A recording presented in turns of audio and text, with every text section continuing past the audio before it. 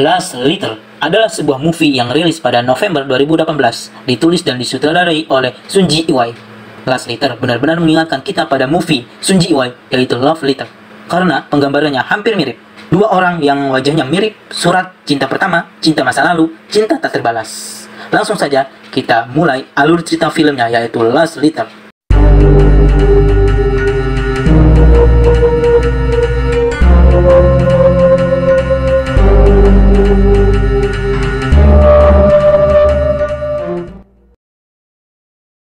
Movie ini dimulai dengan adegan pemakaman kramasi ibu dari Yuan Mumu dan Yuan Chen Chen.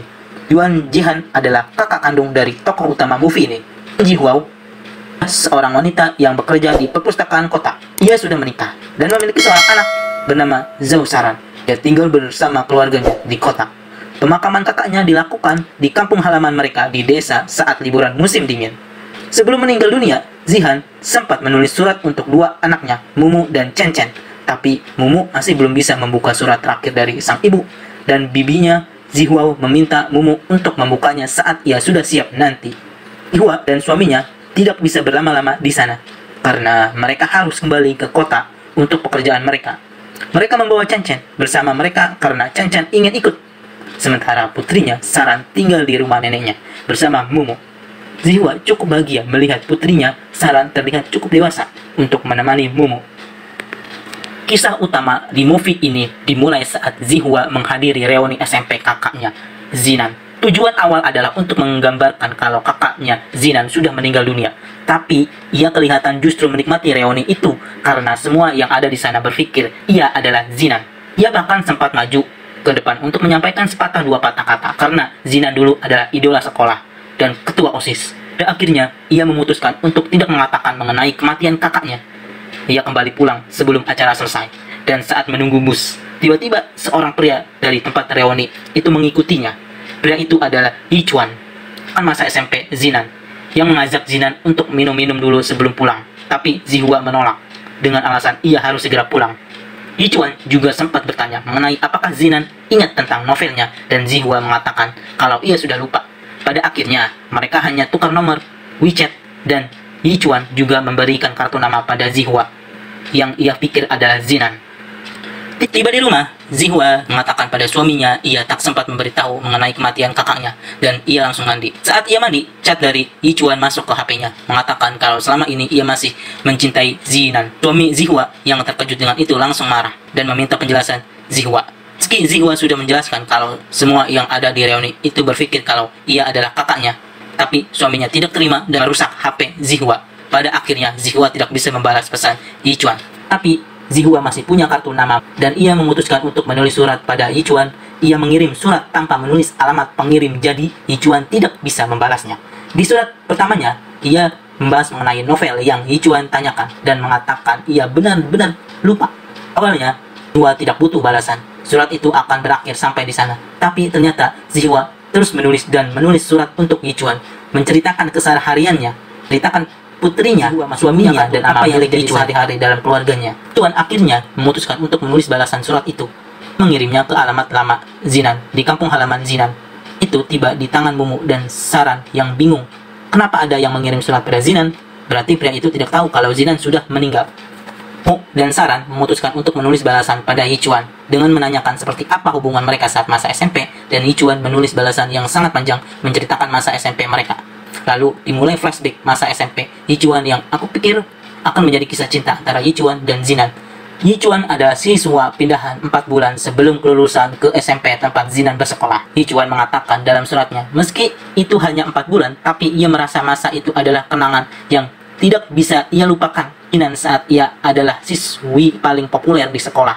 Karena kecantikan dan kepintarannya, Yichuan penasaran pada gadis yang tidak bisa ia lihat wajahnya itu karena saat pertama ia melihat Zinan pidato di depan para siswa, Zinan menggunakan masker. Yichuan mempunyai adik perempuan yang berteman dengan adik Zinan. Zihua jatuh cinta pada pandangan pertama dengan Yichuan, tapi kemudian ia tahu Yichuan menyukai kakaknya saat ia membantu Yichuan melihat wajah kakaknya dengan membuka masker kakaknya Zinan. Zihua tidak terlalu suka membicarakan kakaknya karena ia tidak mau dibanding-bandingkan dengan sang kakak yang cantik dan pintar. Tapi ia berjanji akan membantu Yichuan lebih dekat dengan kakaknya. Ia meminta Yichuan menulis surat cinta untuk kakaknya dan ia akan menyampaikan pada kakaknya. Yichuan percaya saja pada Zihua dan menulis banyak surat cinta untuk Zinan tanpa tahu kalau Zihua tidak pernah memberikan surat kepada kakaknya. Dan tahu kemudian setelah ia memberanikan diri bicara pada Zinan di sekolah mengenai suratnya, tapi Zinan menunjukkan wajah bingung karena ia tak tahu surat apa yang dia bicarakan.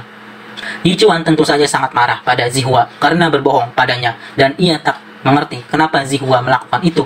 Zihua akhirnya meminta maaf dan berjanji memberikan surat itu pada kakaknya. Lalu suatu hari ia datang menemui Yichuan dan memberikan balasan surat dari kakaknya. Tapi saat Membacanya, Yichuan terkejut karena ia bukan balasan surat dari Zinan, melainkan surat cinta dari Ziwa yang mengatakan kalau ia mencintai Yichuan, tapi Yichuan menolaknya.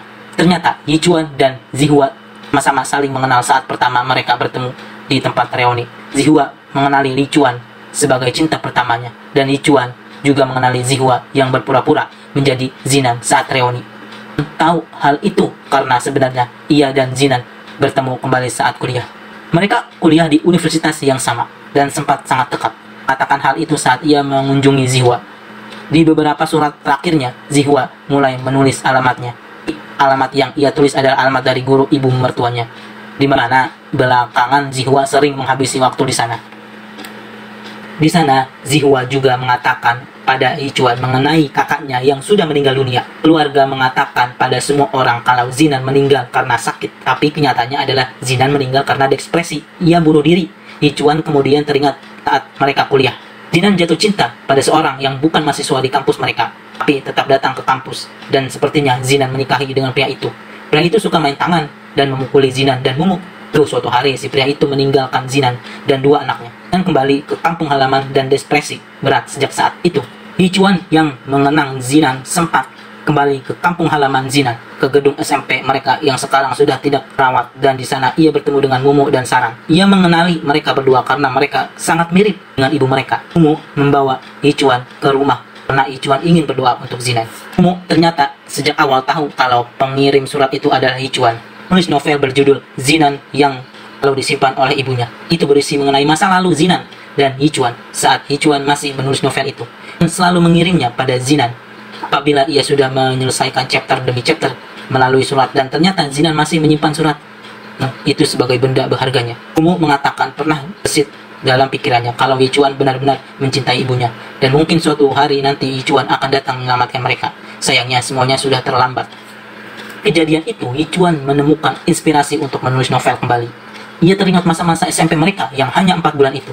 Mintanya pada Zinan dan kenangan mereka satu-satunya yaitu saat Zinan memintanya untuk menulis pidato kelulusan yang akan ia bacakan. Zinan tahu kalau Yichuan pandai menulis karena ia sudah melihat dari surat cinta yang dikirimkan oleh Yichuan.